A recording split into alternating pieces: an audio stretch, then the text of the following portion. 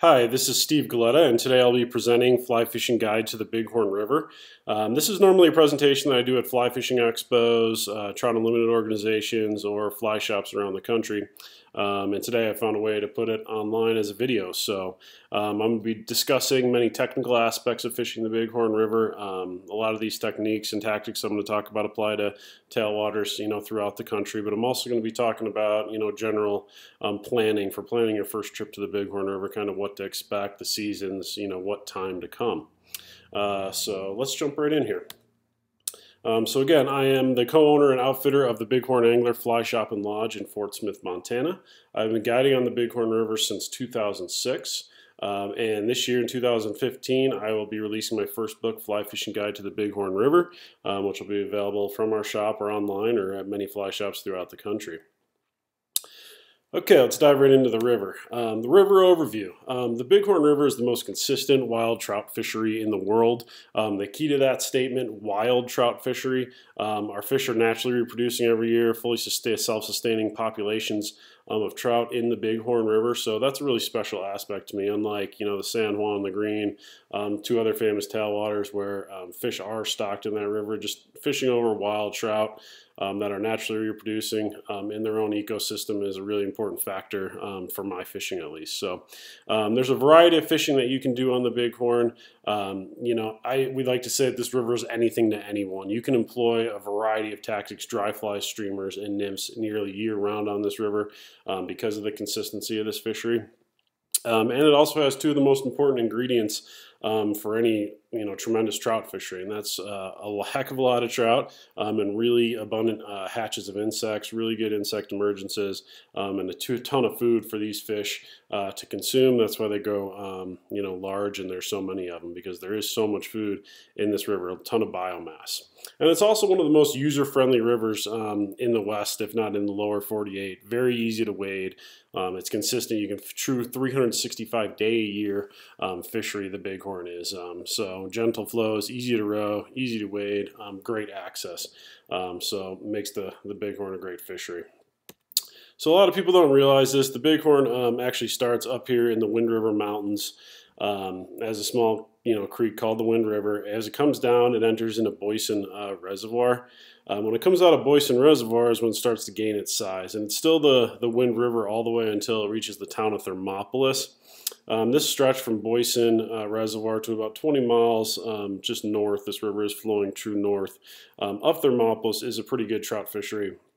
Um, in its own right. But here in Thermopolis is where it actually changes names, becomes the Bighorn um, at an area that they call Wedding of the Waters. It's really you know, there's no waters coming together there. It's actually just a change um, in name um, that because the people in Wyoming called it one thing and early settlers in Montana called it another, and that's just where it happened to be um, where they called it, changed the names there. So, um, but the river continues to flow north. You know, it turns into a warm water fishery as it flows north um, past Worland and Greybull.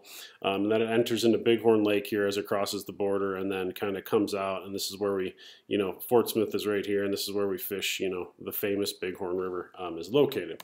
here's a little bit more detailed map. So um, if you were like I was talking about, the Bighorn comes in. Here's Bighorn Lake, 70 Mile Lake, um, and Fort Smith is where um, our shop is located, and we fish for about 35 miles um, north to about the town of Hardin here. Um, if you were going to fly into the Bighorn, um, you'd want to fly into Billings International Airport there, about 80 miles from where we're located. and we're right here, and where we are in Fort Smith is in the foothills of the larger Bighorn Mountains um, lying just south of us there. Um, we're in about 3,400 um, feet, um, kind of in the foothills, the plateau area, um, and then we're totally surrounded by the confines of the Crow Indian Reservation, um, which is kind of, I think, special and makes our area um, of big of of the Montana unique because um, it keeps us totally free from development. This area of Montana still feels like it did, um, you know, 50 years ago, 100 years ago. It's it's wild. It's not over overdeveloped. You don't see houses all along the river, um, and a lot of people don't realize this upper section of the river, the first couple access points and the lake region is actual Bighorn Canyon National Recreation Area. So, um, pretty special area um, that we're located in. Um, so this is, uh, I mean, here's the key to our fishery is, um, in this tailwater ecosystem is the fact that we have Bighorn Lake, Yellowtail Dam, a two mile afterbay lake, and the river. um, flowing here. And, and, this, this is why our river is so good. And I'm going to break down each of these components individually. Um, but you also see what I was talking about, free development, and you'll see, you know, just looking uh, north here, you see a valley that's just sugar beets, wheat. Um, you know, a lot of people raise cows in this valley, but it's totally free development because it is on that Crow Indian reservation. Um, so it's it's a pretty special area. This you'll see um, right here in this top right corner is the little tiny town of Fort Smith. One way in, one way out. Um, and to kind of give you scale, from Fort Smith here to this marina in the bottom left corner is about 10 miles. So uh, really neat area, Montana, and um, it, we've kind of had this special system that was created um, when Yellowtail Dam was created that creates pretty amazing fishery. So Yellowtail Dam itself was um, completed in the late 1960s, built for uh, hydroelectric power, irrigation, um, and flood control. Obviously, its greatest byproduct um, was the trout fishery that was created before. Um, before the existence of Yellowtail Dam, um, this was just a true warm water fishery. What you had was pretty, you know, water that ran muddy most of the year through this deep um, canyon. Um, a lot of warm water species in there. Um, so really there wasn't a good trout fisher here until this dam um, was actually created. But the key to this dam is that it's a bottom release dam. Um, so the water comes out ice cold throughout the year. Um, and that's the key for you know our trout, our insects, everything. You have water that's warmer in the wintertime um, and cooler in the summer. So uh, water temperatures are always in that kind of perfect temperature range um, because of Yellowtail Dam here. And then Yellowtail Dam obviously created uh, Bighorn Lake. And um, Bighorn Lake is the true heart of this entire Bighorn River system. It's 70 miles long, two to 300 feet um, deep in most areas. Um, and, and when the, the lake was created, um, it kind of filled in all those limestone wall canyons, and that limestone just feeds a ton of nutrients um, into this water. Also, a ton of photosynthesis occurs um, in this water, so you have water that's uh, high alkalinity, a high pH, um, and perfect, you know, nutrient-rich water. Um, and that water is really the blood that sustains, you know, it flows through Yellowtail Dam and sustains uh, and brings to life the whole river ecosystem below and, and su supports all the agricultural, all the fish, all the insects. So um, Bighorn Lake is, is very important uh, to our fishery. Um, up here, this is the marina I was talking about earlier. This is Ok-A-Beh Marina. It's one of only two access points in this entire 70 mile lake. So a nice area, you know, there's boating up here. There's a swimming area. If non-anglers come, you can rent boats, and it's just a beautiful place to see while you're here. Um, and Bighorn Lake is becoming a tremendous fishery in its own right. Um, each year we have a carp tournament um, that supports the Bighorn River Alliance, a great organization that, you know, uh, supported by anglers um, that really you know contributes to the overall health of the health of the fishery. Um, but carp fishing, especially with a dry fly, um, is becoming a phenomenal sport. Um, we've even started guiding it. Um, people are really really catching on to it. It's great fun. We call it, you know, freshwater bonefish, if you will. They pull hard. They eat dry flies off the surface. So it's great fun, and it's in, you know, a tremendous, beautiful setting up there on Bighorn Lake, about 10 miles from Fort Smith, like I said before. Um, the other nice thing about this lake is it does have huge trout. Each year we get um, a cicada hatch, um, varies in, in, intensity each year. Um, but when it does come off, these huge trout um, come up and they will eat large dry flies off the surface. There's not a ton of them, but there's enough, you know, where if you get a shot at one or two of these fish a day. Um, they also do come up to hoppers, you know, during the prime hopper terrestrial season. But when we get that cicada hatch, these trout tend to really show themselves.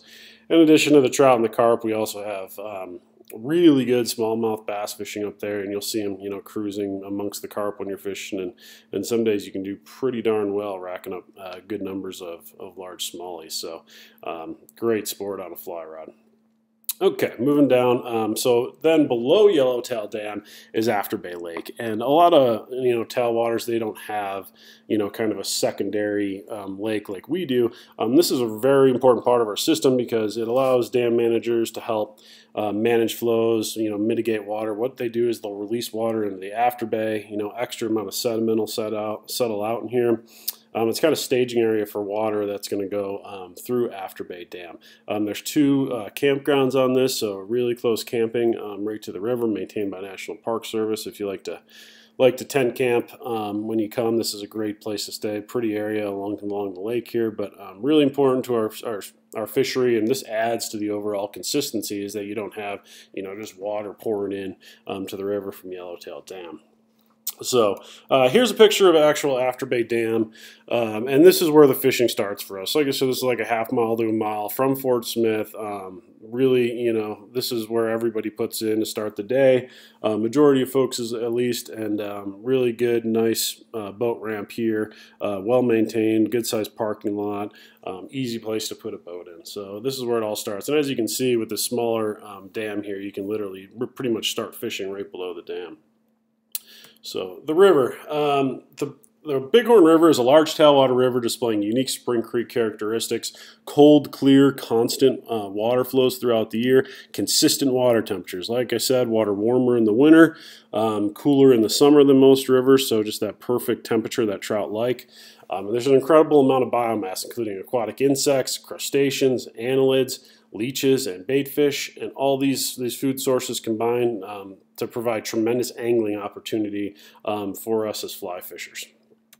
Um, what this slide shows is kind of what you can kind of expect from the bottom of the river. You'll have uh, fine rock uh, mixed with sediment and aquatic vegetation that those insects thrive off of. So easy to wade um, and creates you know really prolific fishery. Um, and this is what we're talking about. You get these big you know mats of aquatic vegetation, and what you'll find in them are a ton of the var crustaceans, like the scud shown here. Um, so a lot of people you know they'll kind of complain about aquatic amount of aquatic vegetation at times in the bighorn, but this is what you know all the insects thrive on, and then that's you know obviously why all the trout thrive um, as well. So, a quick history of the fishery. Um, the river was first stocked in 1966. Um, original stocking of cutthroats, actually, and rainbow trout. Um, you originally purchased a pass from the Crow tribe to fish. Uh, in 1975, due to conflict, the trout fishery was uh, closed. Um, a five year court battle um, ensued, and jurisdiction was given to the state of Montana. Um, and in 1981, the Bighorn River opened to angling uh, coincidentally the year that I was actually born. Um, so at this time, what happened during this time is we had these original stockings of fish. Uh, the fishery was closed, but what was going on was, was state uh, fish and game biologists were, you know, managing the river. They were watching it. They were seeing that these trout were naturally sustaining, um, you know, they were just taking hold beautifully to the Bighorn River. Um, so by the time the river opened, you know, basically you know, damn, our managers realize, hey, we don't need stocking programs. You know, basically there's perfect habitat available these trout. They're thriving. Um, so we had a you know naturally self-sustaining populations from there forward. Um, Richie Montella, aka the legend, um, one of the longtime guides on the Bighorn, caught 96 fish in 1982 that were between four and eight and a half pounds, uh, mostly on dry flies. So, uh, wish I was there to uh, experience that. Uh, the Bighorn River fishery today consists of brown and rainbow trout. Uh, we like to see a 60-40 split. Most recent years, you know, it's kind of been a 70-30 split of browns to rainbows. Um, I'd say a conservative estimate of trout per mile in the main kind of upper 13 miles this river is 6,000 trout per mile. We've seen, you know, populations all the way up to 10 to 12,000 fish per mile in the late 80s, early 90s. But, you know, typically in this modern day, you'll see about 6,000. That's more than enough fish. Um, high water years, we get more fish, more recruitment. Um, and then lower water years, we get less recruitment of fish, but we tend to get bigger fish because there's fewer of them in the river. But on average, what you expect to catch when coming to the bighorn, 15 to 16 inch fish, maybe you know kind of in that 14 to 16 inch range, um, with many reaching 20 inches. Um, that 18 to 20 inch fish we really enjoy catching, um, and the biggest fish each year typically tend to be caught in that 24 to 28 inch range. So there's still true trophy trout um, in this fishery. So what I like to say is that the Bighorn is anything to anyone. Each section of the river varies slightly in water temperature, aquatic diversity, water type, um, through our kind of four main float sections of this river, the 35 miles. And this makes for a variety of opportunity that challenges anglers of all abilities. I don't know any other river that is better for beginners, um, such as a non-angling, you know, spouse. Say your wife comes out and she's never fished before, have her pick up a fly rod and try the bighorn. She will catch fish. Or getting kind of a youngster into fly fishing. Um, I see kids as young as nine, but mostly about the age of 11 can come to the bighorn and do really well. Uh, but for me, it's the match the hatch dry fly fishing and the sight nymphing opportunity um, that lies here on the Bighorn that you know makes me want to go out there and fish every single day. I don't know another river of this size where you can have such a visual angling opportunity, which we'll talk about. Um, and the streamers, dry flies, and nymphs can be fished nearly year round uh, on the Bighorn. So let's talk about the river's brown trout. Um, these brown trout were never stocked uh, in the Bighorn River. Um, they probably moved down from uh, tributaries or they moved up from the Yellowstone River. A lot of people forget the Bighorn is a tributary of the Yellowstone, so kind of moved into the river. Um, this picture here is what you kind of typically see as an average brown trout uh, in the Bighorn. This is a spring fish. Um, they'll plump up, get a lot fatter um, as the season moves on. Um, but our brown trout, they jump really well, which a lot of people don't expect, and they feed on top um, uh, very, very well. So these brown trout provide great surface action. Again, two more average fish um, on the bighorn. They look, you know, we call them cookie cutters, but we get a lot of, you know, just nice healthy fish um, kind of in that, like I said, 14 to 16 inch range that are, you know, fun to catch anywhere. And then, of course, we get a lot bigger fish.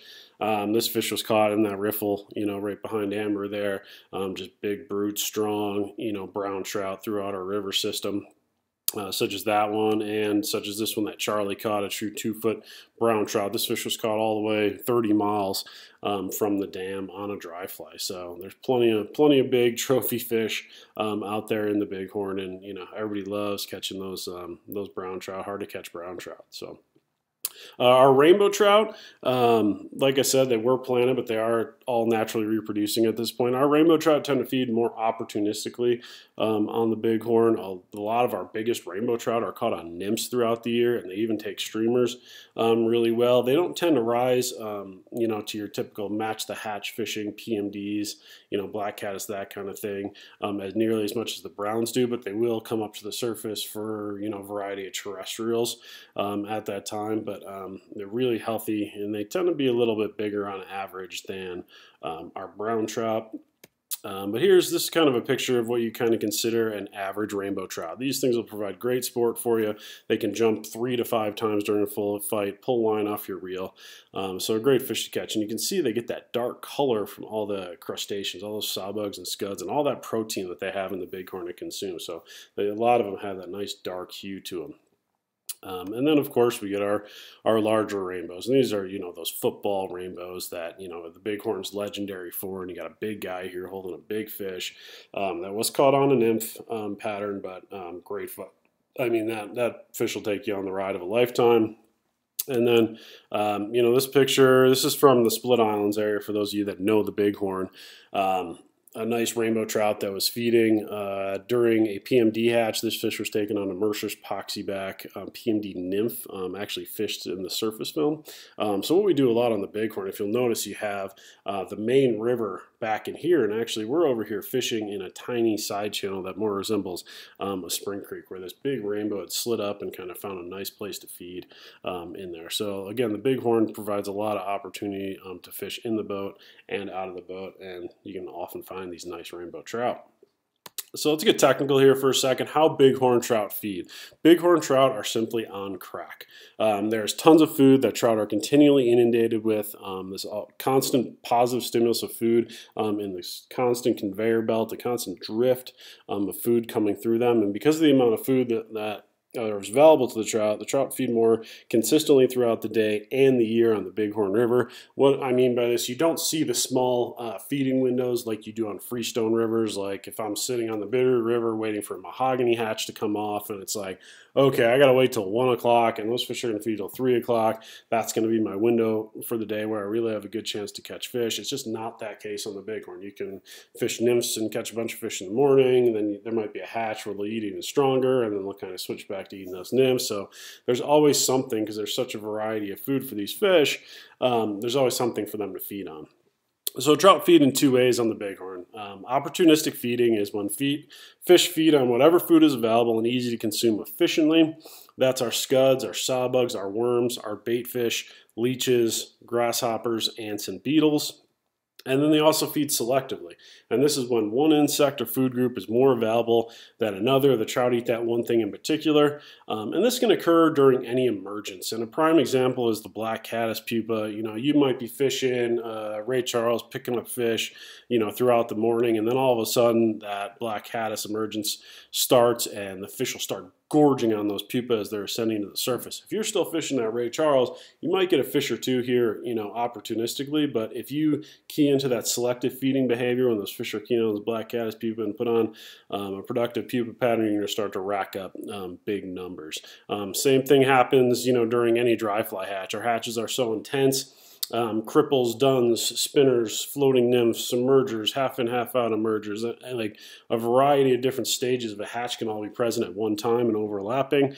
Um, so you need to figure out exactly what stage of the emergence the fish you're fishing to um, are feeding on. And once you figure that out, you'll break the code and you'll have a lot of success. So, moving along, where trout feed. I break it down when I approach any river. Fish are either feeding in two places. They're feeding along the bottom or they're feeding on the surface of the river. Um, along the bottom on the bighorn, um, you have crustaceans, like I said, sawbugs and scuds, annelids, mayflies, midges, and caddis for these fish all to feed on throughout the year. Um, to the left here is a picture of a typical scud, and to the right, a sawbug, which are you know present throughout the year.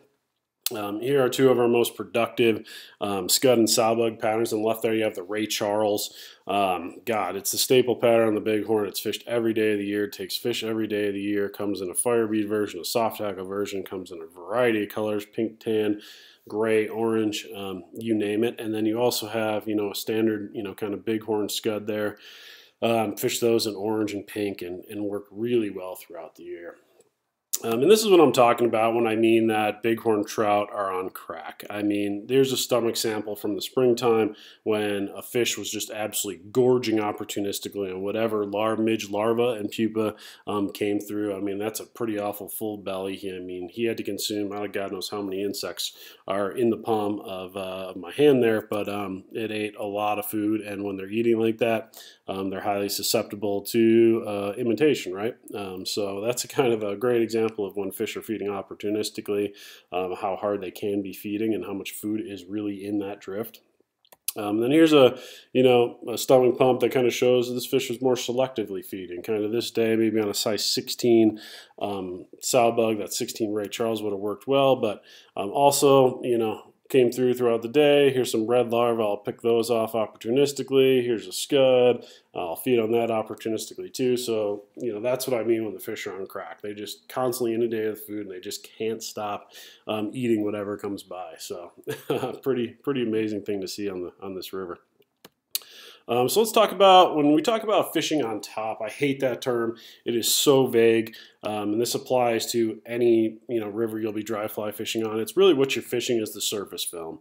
And when fish are feeding um, either uh, in, on, or below that surface film, um, and the rise forms will tell you where and how the trout are feeding and interacting within that surface film. Um, so the surface film is like a molecule thick. Um, it's kind of provides, you know, think of it almost as like, uh, you know, it creates tension across the surface. Think of it almost like a saran wrap across the, the top of the surface, if you will. Um, but it's kind of, it's a barrier. Um, it's why you can see fish kind of skittering and floating on top of it. That tension provides that. And it's also what impedes certain insects um, from breaking through it and making it susceptible to the trout. Um, a prime example of this is midge pupa are smaller in size, so they have a harder time breaking through that surface film than larger insects. Um, when those midge pupa ascend up to the surface, they'll get kind of trapped under that you know molecule layer um, of surface tension, and the, all those midge pupa will collect. And what you'll see is the fish will just stack up, and you'll just see their tail um, coming out of the water as they're feeding on those midge pupa underneath the surface film. Um, and they'll, you know, easy, easy pickings for those trout. So if you throw, say, a size 20 parachute Adams as like a single adult midge imitation across the top of the surface, um, the fish are rarely going to feed on it. So if you drop a zebra midge 10 to 12 inches below it, uh, right in their actual feeding zone, um, you're going to probably start catching a lot of fish. So um, same thing goes if the fish are feeding on top on spinners, you know, you actually see, or on duns and you see a take with an actual bubble, you know they're feeding on top, you should be fishing an adult pattern, not an emerger underneath the surface. Um, same thing goes like for, you know, during a PMD hatch, I'm often, often fishing half in, half out emergers um, where that insect is half in the nymphal shuck and half out of it, um, right in the surface film because during PMD hatches, the hatch gets so intense, the fish will, you know, kind of key in on what's the easiest stage of that hatch present, um, and that's often it. So read the rise forms; they'll tell you, you know, where and how those trout are feeding, um, and if you can figure that out, um, you're gonna have great success fishing on top. So these rules and understanding that surface film is key to trout fishing on any river, um, not just the bighorn. Okay, so let's get less technical here. Let's just talk, start talking about when to come to the Bighorn, how to experience it the best way. So um, there's 35 miles of highly productive trout water on the Bighorn. It's broken up into two distinct sections, the upper, kind of the famous 13 miles of the Bighorn, and then the lower river. Um, there's five federal and state access points that, have, uh, that you know provide wade access to the river. Um, you do not need a Crow Tribe fishing license to fish here anymore. We get asked that all the time. Um, and you can walk in, you can rent a boat, or you can hire a guide. So when running a drift boat, um, you should have an idea of how to row a boat um, so your boat doesn't end up on the bottom of the bighorn like this one did. Um, we do provide uh, rowing instruction the first day that you do rent a boat. Um, it's called our Bighorn River Primer Trip. Kind of teaches you about the river, how to row the boat safely, and all that kind of things. The rental boat is a great way to explore the river on your own. You kind of, you know, you and your buddies out there, you know, in Montana exploring the Bighorn River for the first time. So it's a, it's a special experience. Um, and, and guys that, you know, have a pretty good, are competent anglers can have a lot of success fishing the Bighorn um, in this manner. So you know, it's something that we, we definitely provide rental boats uh, at the Bighorn Angler. Um, but if you can uh, flip the bill for a guided fishing trip, there is nobody um, that knows the river better than the guides that are out there uh, fishing and working it uh, every single day. They're the ones that are in rhythm um, with the river, where the trout are holding, you know, what insects they're feeding on, uh, time of day, you know, all those kind of things, you know, what fly patterns to be using. So um, a day on the Bighorn with a guide is a special experience, and you're going to learn um, a ton about the river spending a few days with the, with a guide. So um, the upper river, um, this is the famous kind of 13 miles of river um, on the Bighorn. Uh, the first main stretch is the Afterbay to three mile stretch. Um, we call this AKA the amusement park. If somebody went out and wanted to, you know, create the Disneyland of fly fishing, these upper three miles would be it. Um, because of this, it's also the most heavily pressured stretch um, on the bighorn, but the water is very easy to read.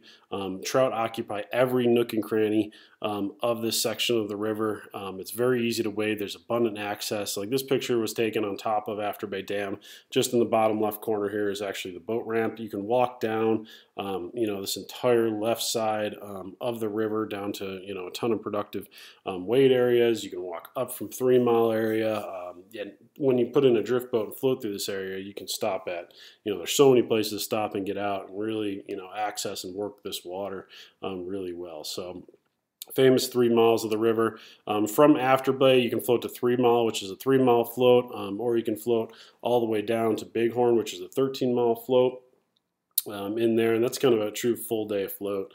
Um, and then the next section down that we want to talk about, the next put in is three mile um, access. You'll kind of see in the distance here um, that's three mile access, the big parking lot. This is actually the first side channel um, to the river here, no name channel.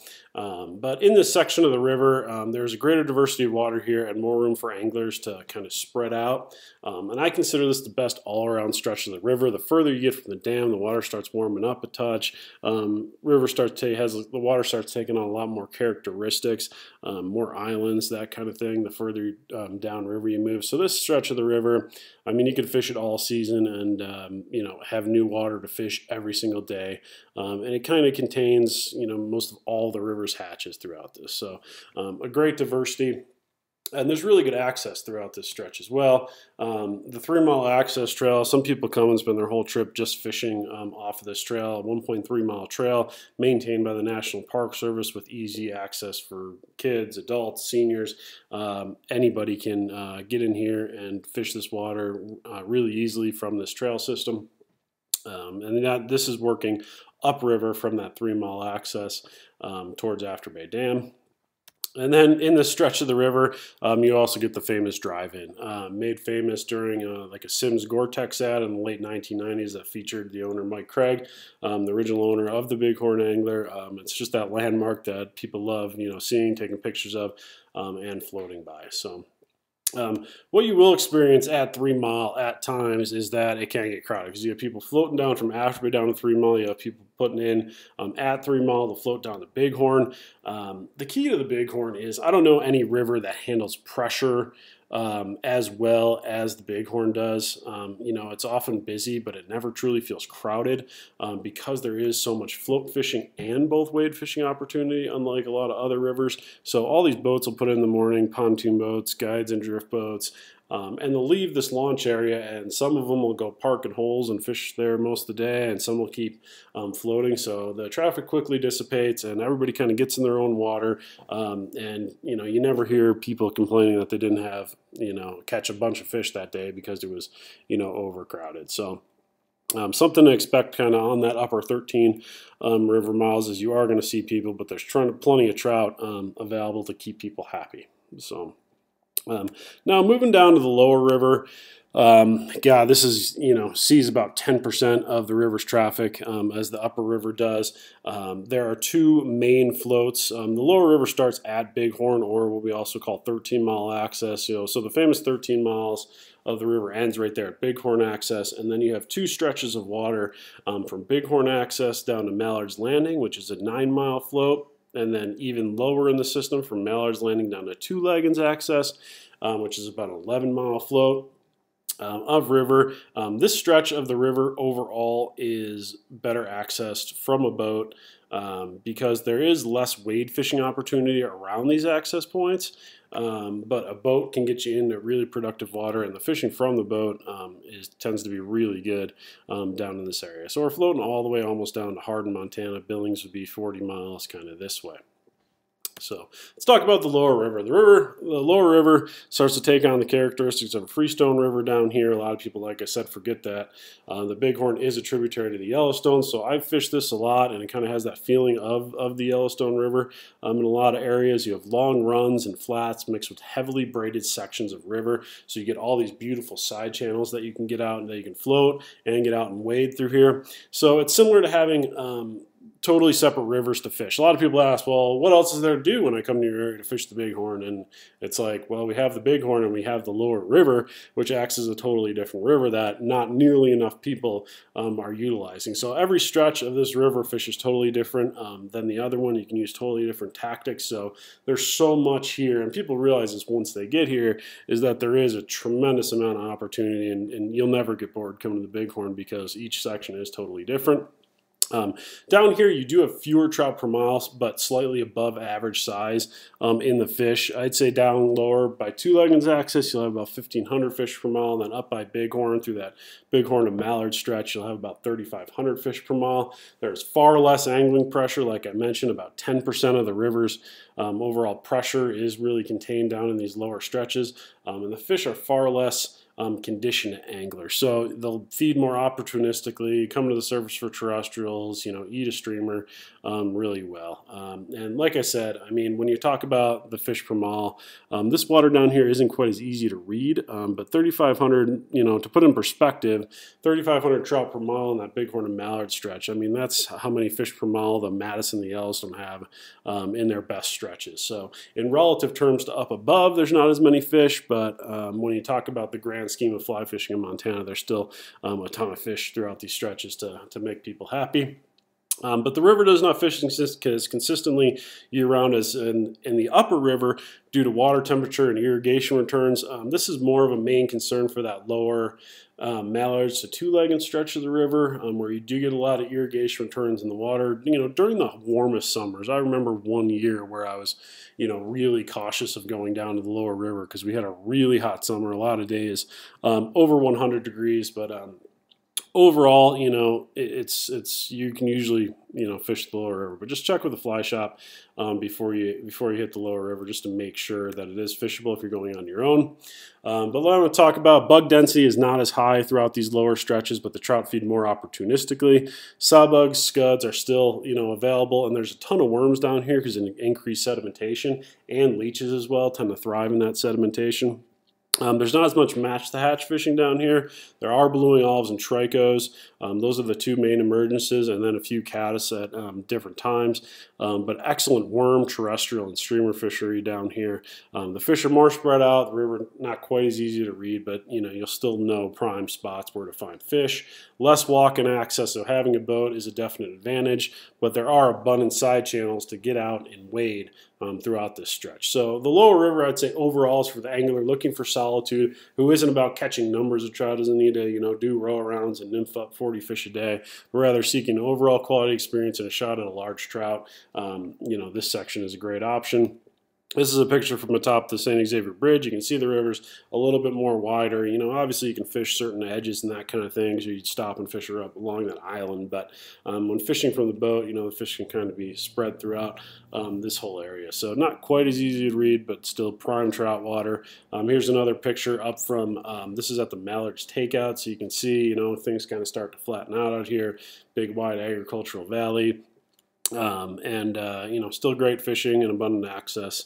Um, just kind of give you an idea of what to expect. And then um, this is what I'm talking about. This is a picture of Rotten Grass Creek um, dumping in mud. So during heavy rainstorms or runoff, um, a creek like this can blow out the river and put a lot of color, a lot of mud in. So it's always good to check and see, you know, if this is running off color with a fly shot before you go down there. Um, this is especially during, you know, our upper river isn't a, you know, isn't affected by spring runoff as far as clarity goes, um, but this lower river is. So at that main runoff times, you can't expect conditions like this. Um, so again, good to check with a fly shop. And then this is a picture from the lower Two Leggins um, bridge. Um, there you can kind of see again long flats broken up with um, you know with riffles, um, islands, that kind of thing. Um, and then you know down here you get you know these nice rainbows. This fish was caught by Charlie during a trico emergence. We're underneath that left undercut bank. Um, down below Mallard's access, get a lot of really nice fish down there. our tricos are the main emergence, and the fish are big and healthy. So, the million dollar question when to come to the Bighorn? There is no true wrong time to go to come to the Bighorn. Um, it all depends on the weather you prefer, the tactics you prefer. Um, I'd say our main um, fishing season is April 15th to October 15th. Um, really busy windows in there are late April, um, early May because of our blue wing olive hatch, um, and then again late July, early August because of possible tricos, PMDs, um, terrestrials. And then if you are looking to totally escape seeing other anglers in the crowds, that March time and early April is really productive um, trout fishing. Obviously, you know, you can have to fish in the cold at some days, but it will always be productive. And then again, that late October all the way to Thanksgiving time um, is a really productive time to be on the river. So if you're looking to get away from crowds and have a great fishing experience, um, that shoulder season is becoming increasingly popular um, on the Bighorn. Now I'm going to run you through the kind of the different seasons and what to expect on the Bighorn. Um, spring I define as March to May. Air temperatures typically in the 40s to 60s. I've seen it get into the hundreds in May. Um, you know, May I guess typically would be even into the 70s most of the time. Um, water temperatures are all typically in the 40s. Um, warmer in the lower river. That lower river can be as many as 8 degrees um, warmer um, in that kind of Mallard's Two Leggins stretch than up above below the dam. I've seen blue wing olive hatches start there two to three weeks before you see them on the upper river, um, and you can kind of follow the hatch up um, as the water um, temperatures, you know, increase throughout the spring. Um, trout's diet consists of scuds, sow bugs, midges, and baetis this time of year. Um, as insect activity and water temps um, increase, trout begin to move from their winter lies in the deep, slow pools um, up into more of those riffles and runs um, where you'll find them in the typical spring water. Um, and then during the spring, our rainbow trout spawn occurs. So um, what you'll find is our fish, due to lack of tributaries, will actually spawn in the main river where there's a ton of fine gravel and sediment anyways, and you'll see these just big, giant, um, light colored redds um, filled with these dark rainbows. Um, we leave these fish alone. There's no need to harass them. Let them, you know, do their thing, reproduce um, uh, successfully, and then move back into the main river. Um, at this time, there's still plenty of fish in the main river um, to be caught, so we just kind of let these guys do their thing. but definitely a cool sight to see. Definitely, you know, more resembles Alaska than anything. Um, but our first main hatch of the year um, is our midge hatch. Um, prolific in March and April. We'll start as early, you know, as early February. Um, first major hatch of the year that bring fish to the surface, and the fish really key in on those larvae and pupa and really start to fatten up as their um, metabolism gets going in the spring. Um, Midge Pupa, a lot of these, Jim Schollmeyer contributed a lot of the pictures to my book, so I've got these great pictures um, here, and this is uh, one of his pictures of a midge pupa. You'll see the presence of, of those wing buds um, on the insect and the gaseous bubble. Um, and this is when, in this stage, those pupa are ascending the surface and the trout key on these things readily. Um, they just love midge larvae and pupa. Um, two of our most effective patterns that you shouldn't be without on the bighorn is the red midge larva. It just works all springtime. And then again on the right are root beer midge, and you'll see on the on that root beer midge you kind of have that synthetic wing imitating the gaseous bubble and the wing um, wing pads on uh, on that midge pupa. So really effective and, and a trigger for the trout. And then, of course, you get um, your single uh, midge adults. Um, we don't tend to fish the single adults a lot. What we try to do is key in on when they start clustering. Um, it makes midge fishing much easier to deal with. Um, a lot of people are intimidated by these small insects, but when they cluster, you can fish a lot larger imitations, and the trout will, you know, throw more caution in the wind when feeding on those clusters. Um, so two of our favorite um, flies for that. On the left there is Harrop CDC transitional midge. This is a great fly to fish behind a cluster when those fish are being picky kind of like a stillborn midge imitation. And then on the right is the twilight midge, which um, I love fishing this fly because it's easy to see, imitates the cluster, can fish it up in you know large sizes all the way up to 16. Obviously, most of your midges are going to be kind of in that 18 to 20, even down to 22 range. Um, I fish this a larger size to give my clients, you know, the ability to see where their flies are and locate them on the water. That's the key during these, you know, heavy, intense hatches. Um, and then after our midges get going, blue wing olive start, and this is you know when people really start to show up to the river. Um, can start as early as late March in that lower river, and I've seen it last all the way into early June. Um, this emergence is all dependent on water temperature, how long the hatch will last. But I find the magic water temperature when I really start this emergence really starts getting going is 43 degrees. And fish key in on emerging nymphs, dry flies, and spinners. They key in on all stages, and they, you know, they feed very abundantly um, during this hatch. So um, pretty pretty impressive hatch to witness. Um, the nymphs are very important um, on this river. This is kind of a more immature um, blue wing olive nymph. It's not um, totally dark yet. It has a lot of that lighter color um, in the body. Um, and then as that nymph gets ready uh, to emerge, they actually turn almost basically black in color on the bighorn. That, that wing case starts to split. The body is dark. If you you know use your seine in the morning and you start kicking around and you bring up your seine and it has has a lot of these really dark nymphs. You can usually expect an emergence um, to happen that day. You're probably there during the main hatch. Um, and because we see these uh, nymph insects in a variety of colors, um, underneath, we tie our patterns the same way. Um, and these are two of our most popular nymph imitations for the blue wing olive hatch. The one on the left is called the Wonder Nymph, created by um, Brad Downey. Um, great ascending, emerging uh, nymph imitation. Um, tie that body in black and in olive color. And then on the right is our quill nymph. Um, same thing. It's a, kind of a generic uh, mayfly imitation, but what we'll do is we'll tie it in cream, we'll tie it in olive, and we'll tie it in black, depending on the colors of the blue wing olive nymphs that are present in the river. Um, our adults as well also go through a color change. A lot of people, what they don't associate with is the color of the insect's body, how it corresponds to the time of year. Um, when an insect hatches during those longer days of summer, when there's more sunlight available, the body of the insect is often lighter, excuse me, in color. Um, so what you'll see is because our blue wing olive hatch lasts so long, early in the season they'll be kind of like a dark gray, almost sometimes even an olive brown. And as um, you know, the insect goes through its yearly um, hatch cycle, it'll start dark and actually end up a lot lighter. So what we'll do is we'll take a CDC sparkle on one of our prime patterns, and we'll tie it in a variety of different colors depending on what color the insects are. You know, you might be fishing a different color in March than you are going to be fishing in May um, for those blue wing olive um, duns. So um, two blue wing olive imitations that I really love, especially picky fish. So as the hatch goes on and the trout become more conditioned to being fished to, um, what you're going to find is the fish get more pickier. So you want these two. The first one on the left is a student pattern that we like to tie with a little uh, kind of nymphal shuck off the back, but a very sparse, delicate pattern that takes fish from the surface really well. And then the other fish, our fly on the right, is uh, one of Dave's student, a guy from Colorado's patterns. We call it the student emerger. Um, when the fish are eating floating nymphs in the surface film, that fly is absolutely deadly, drop below um, a larger dun imitation. So um, two great flies to kind of have in your box when fishing in the spring on the bighorn. So, moving into the summertime, uh, summer on the Bighorn, the river is absolutely in full swing. Um, we call this season June, early September. Air temperatures very hot in the 80s and 90s. Water temperatures, however, are in those 50 to 60 range um, because of the dam, because of that huge storage of water that we have in Bighorn Lake. Our water temperatures stay in that ideal temperature range.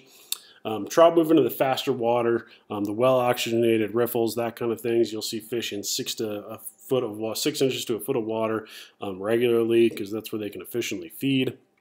Um, trout's diet in the summer. We typically don't get all these emergences, but um, some years we do. 2012 um, we did, but usually a few of them come off each year. But trout's diet consists of sowbugs, worms, PMDs, tricos, yellow sallies, black caddis, tan caddis, and a variety of terrestrials, including grasshoppers, ants, and beetles. So a ton of food in the summer, um, which allows anglers to fish a, a wide variety of tactics. Um, first main hatch are the pale morning duns. Um, just like the blue wing olive nymphs, trout love pale morning dun nymphs. And the one fly that works extremely well that you shouldn't be without on the bighorn, or really just about any river in Montana, is the split case PMD. As you can see in this imitation, you get that dark body. Again, these nymphs turn really dark um, before they hatch, and then that wing case splits open and it kind of shows through the color of the natural. So having that yellow in this imitation is a true trigger to the trout. So when those um, nymph imitations are ascending to the surface, you know, having that trigger in your um, imitation, you know, the fish just take it um, really readily. Um, and then um, if you can, you know, the duns are important, but not nearly as important as the emergers um, and the spinners of the PMDs. Um, this is a picture of a PMD spinner when these hit the water, and if you can experience a PMD spinner fall, I don't care any river in the west, the Missouri, the Bighorn, the Henry's Fork, um, it's a sight to be seen. It's it's incredible. It's one of my favorite um, things in fly fishing. Uh, two fish, um, so the fish throw all caution to the wind, and they will just just gorge on these things. So um, two of my favorite PMD patterns out there. Um, the first is my Sipper merger distributed by Montana Fly Company. It kind of imitates that kind of half in, half out um, imitation, kind of that fish that fishes well in the surface film. Um, and I fish that, you know, that's kind of my go-to pattern when the PMDs are out. Um, but there's one fly I'm never without on the Bighorn every day of the year, and that's Harrop's um, CDC um, Paraspinner. I carry this in every size, every color to imitate every single mayfly hatch on the Bighorn or any other river in the world for that matter. Um, it's kind of my break the code. If I don't, if I'm unsure about what they're fishing, I often put that trusty rusty over them, and the fish usually respond and take it. Because often in dry fly fishing, it's not what they're eating, but what they will eat. So remember that. Um, and then this is our yellow sallies, are our one true stonefly that we can kind of count on on the bighorn. I see them as big as 10 down to 14. Um, you know, they fish really well, especially in the lower river. I really enjoy fishing this to bighorn and mallards. Mallards to Two Leggins. Some years we do get them really well on the upper river as well. Um, but two patterns that I really like, um, Kyle's Beadhead Yellow Sally, um, and then another fly known as Idle's Parasally. You might see it also called the Goldie Hawn. And what I like about this pattern is it sits more flush um, in the surface. It doesn't ride too high. Like a lot of Yellow Sally freestone patterns will sit really high. This one kind of sits lower in the water. I think it's um, more susceptible to trout because of that um, characteristics, but it's pretty easy to see too because of that, that wing. But a Parachute Madam X is a great fly as well if you want something big and bushy um, to kind of hold up a dropper uh, during this main summer hatch. Um, that works really really well. Um, but moving on to black caddis, and black caddis is our staple hatch. We see it every year. Blue wing olives are our staple, staple hatch during the spring season. Black caddis are our staple hatch during the summertime. Um, and the key to this, you know, the black caddis pupa provide great nymph fishing, and the key um, to this is that bright green abdomen. It's a huge trigger um, for for the fish.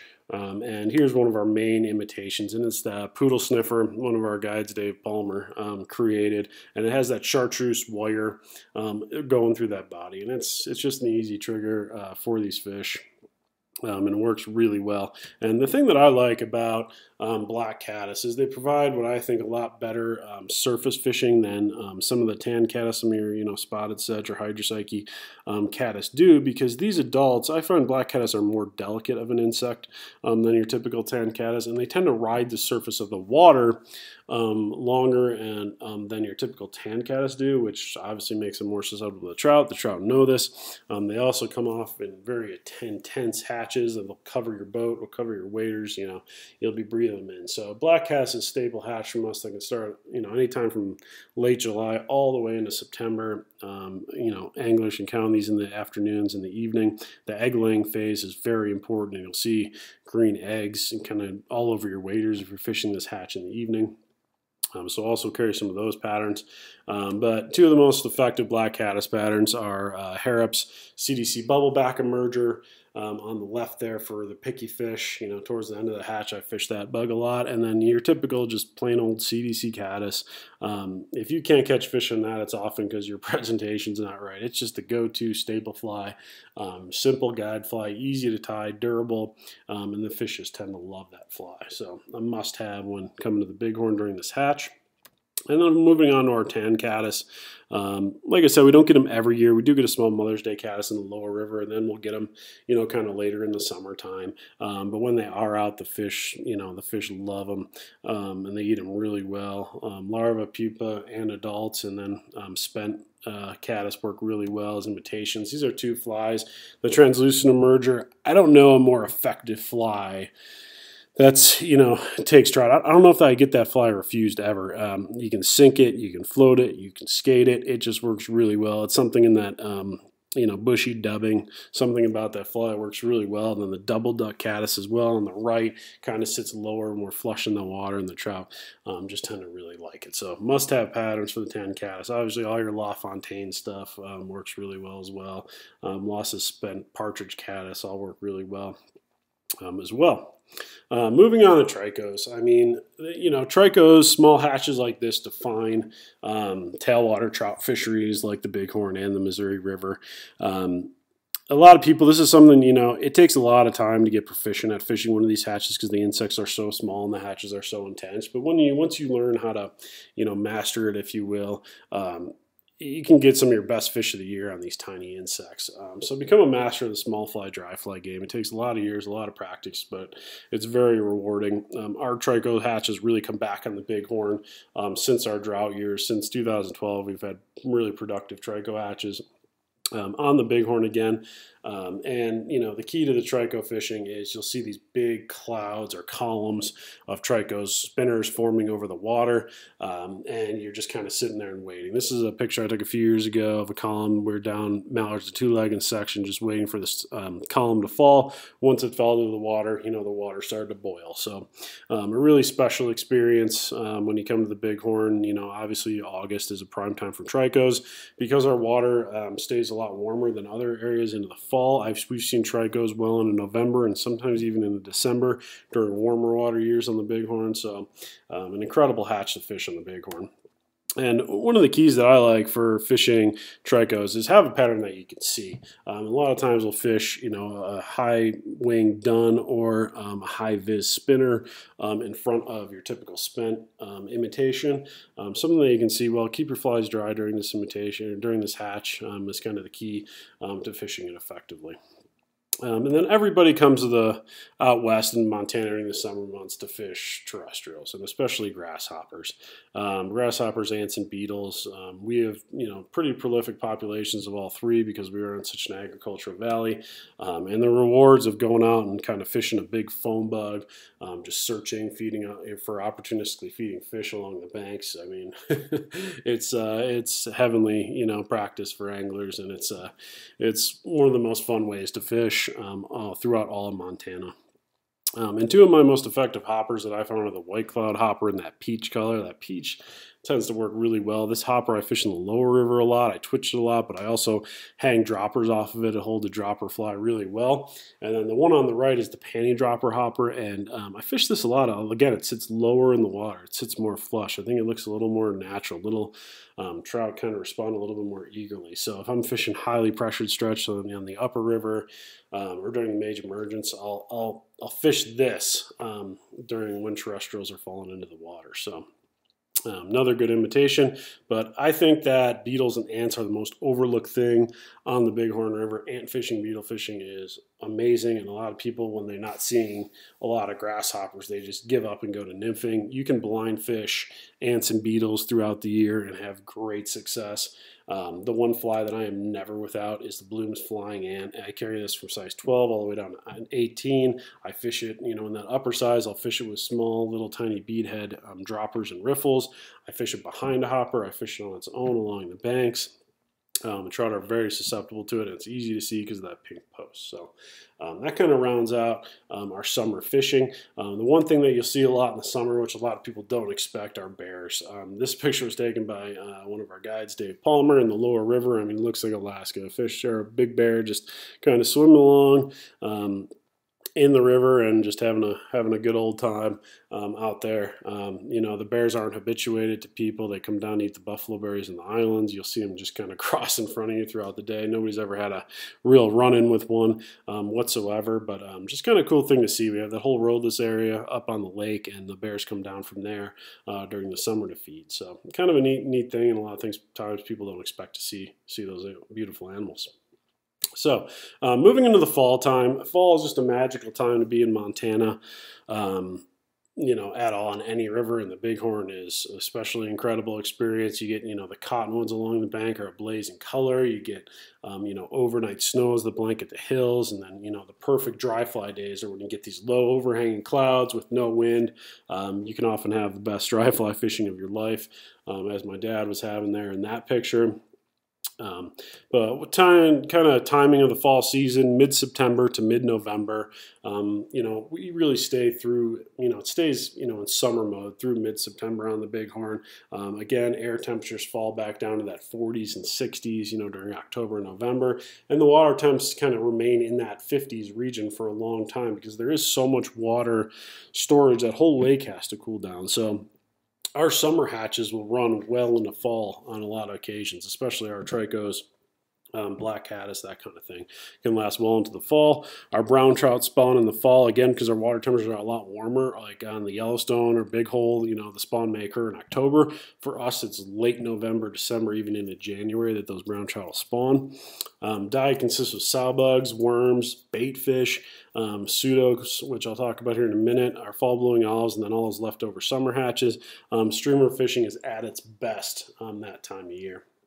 But our main hatch um, in the fall, again, another small fly, size 18 to 20. It's kind of the size of a blue wing olive, but kind of has more of the body color, almost of a PMD, are the pseudocloeons. Um, very intense hatch on overcast days.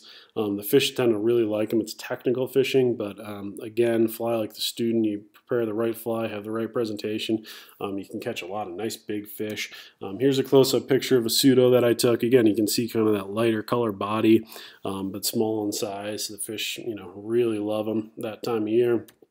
Here's one of my favorite imitations. Um, for uh, that, it's a Harrop CDC biot dun. Sits low in the water. You can fish all the way down to size 22. Um, just a great imitation um, for fishing uh, that pseudo emergence.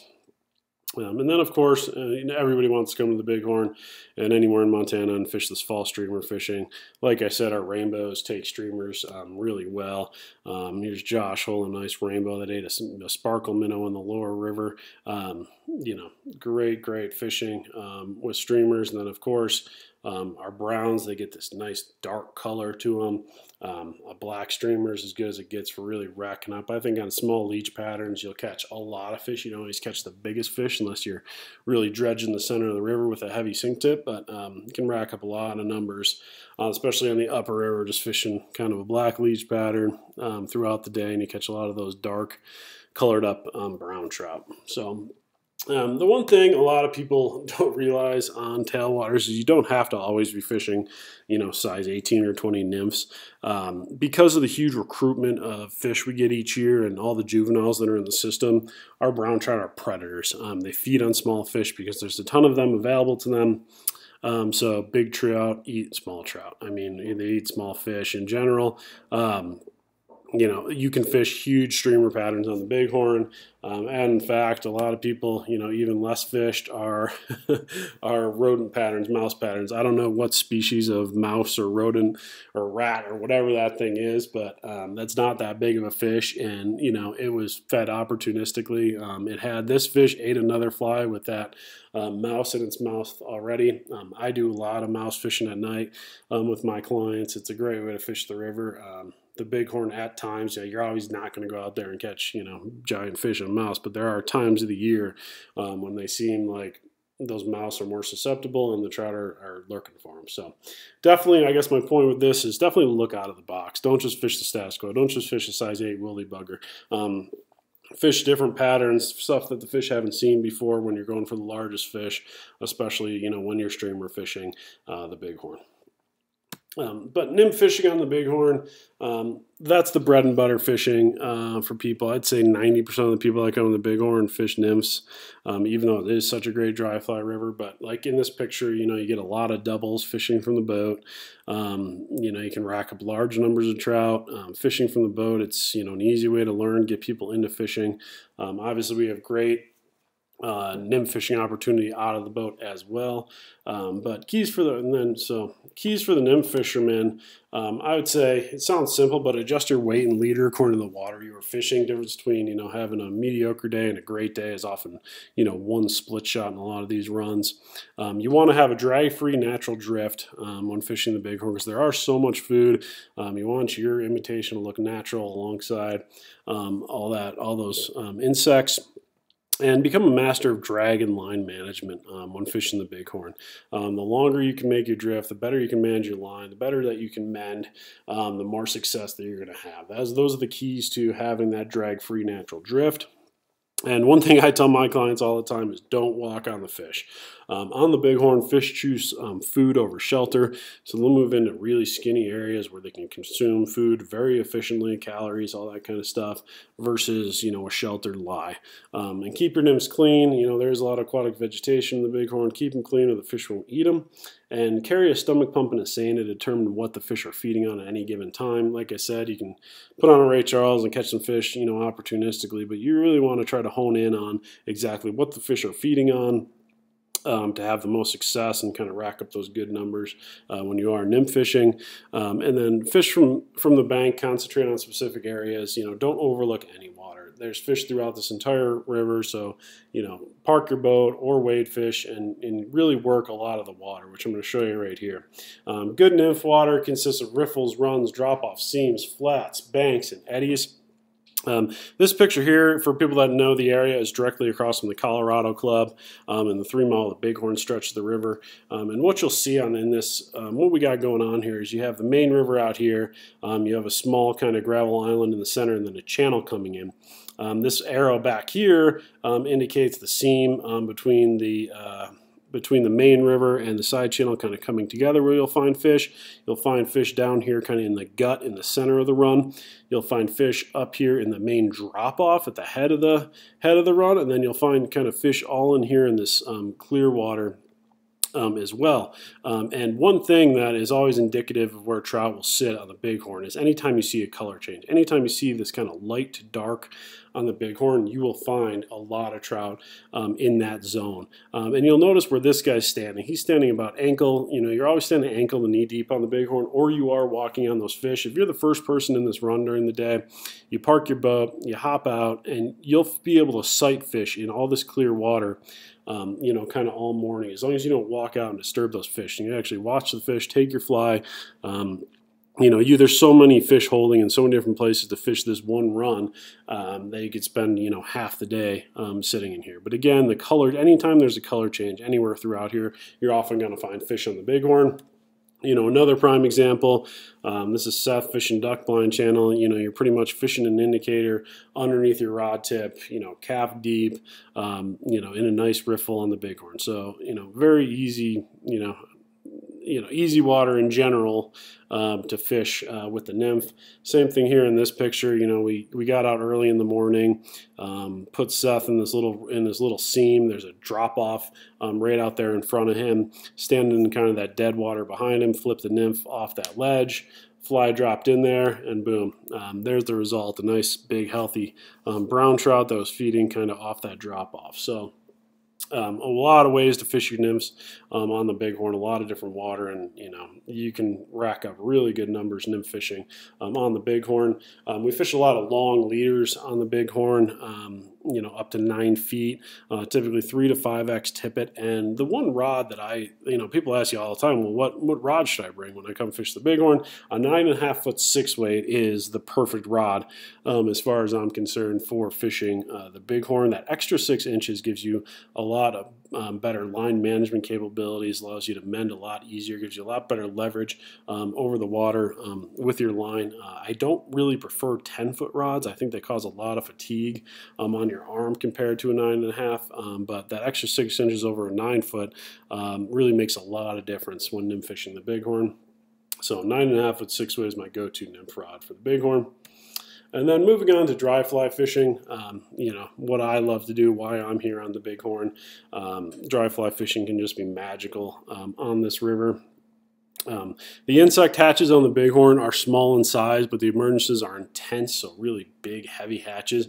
And the hatches are long in duration as well. So our hatches can last two to three months rather than two to three weeks, um, like you see on a typical freestone river. So long hatches provide a lot of dry fly opportunity.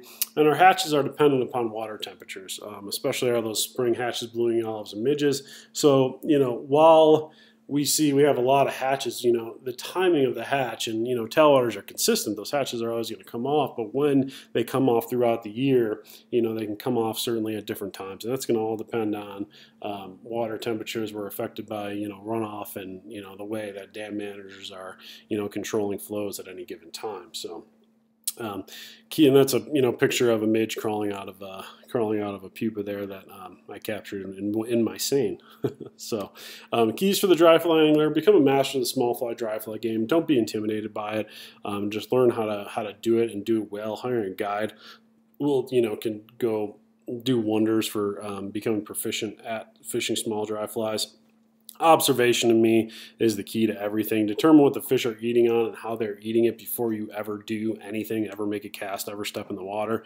Um, make a real calculated approach. You know, what size leader do I need? Where should I be casting from? How's the fish feeding? You know, what's the rise form telling me?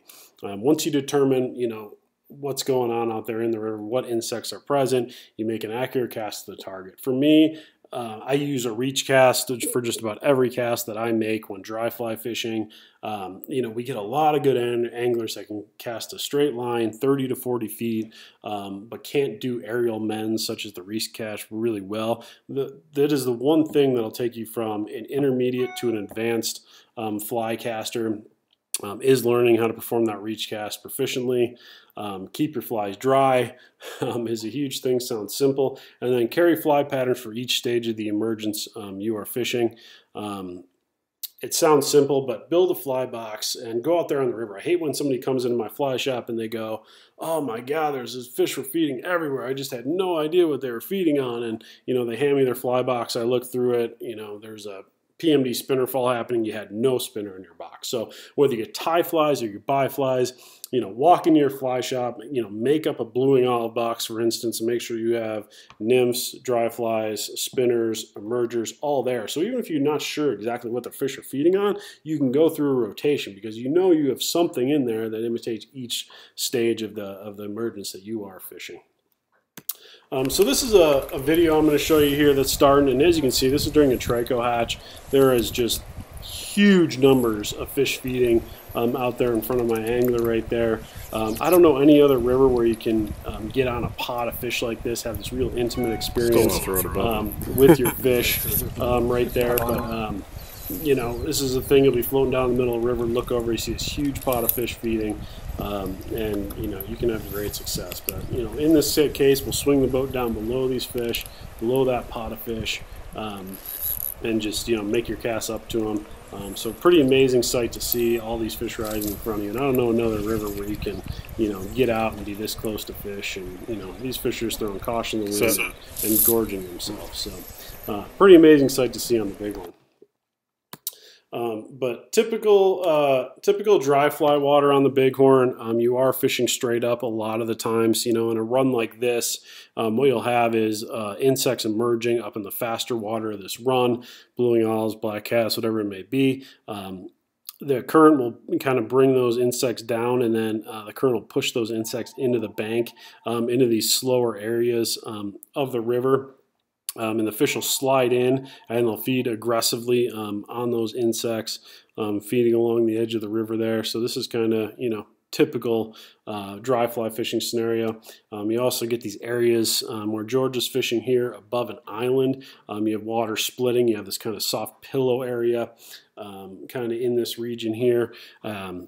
And then you'll notice, you know, this fine gravel and aquatic vegetation that you see in this picture. You know, it's kind of the typical bottom to expect um, when wading the bighorn. But um, a lot of different areas to catch fish.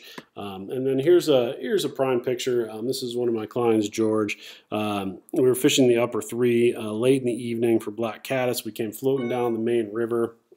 Um, I look over and there's uh, several large fish uh, feeding along that log. I slide my boat in. You know, I realize okay, they're just you know taking uh, you know basically black caddis emergers. Um, you know, we get out, we make a real calculated approach. We we know what they're feeding on. Um, we creep up, get within casting distance, throw a nice reach cast over them. Um, I don't know where you can find again this intimate experience. Um, on the bighorn where you can be knee deep fish feeding in super skinny water. You know, it's it's mono mono, one-on-one fishing with you against that fish. Um, and if you do it right, uh, there are the rewards. In this case, a nice rainbow feeding in there along that log. Um, great fish, you know, just erupted in those shallows after it took the fly and the hook was set.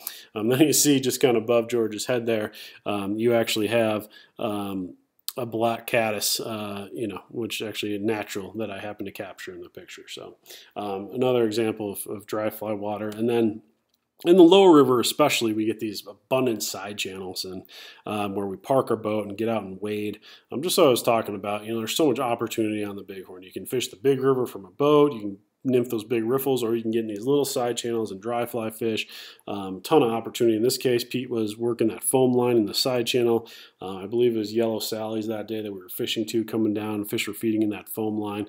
Um, caught a bunch of nice fish out of this um, out of this side channel. So um, typical dry fly setup and equipment. I like an eight and a half four weight for all my match the hatch um, dry fly fishing. When I'm fishing hatches, I get a lot of control. I found eight and a half foot rods very accurate, um, and accuracy um, is the key to my dry fly fishing. I don't need to cast distance. You know, you're never fishing 60, 70 feet successfully dry fly fishing any river in the entire world.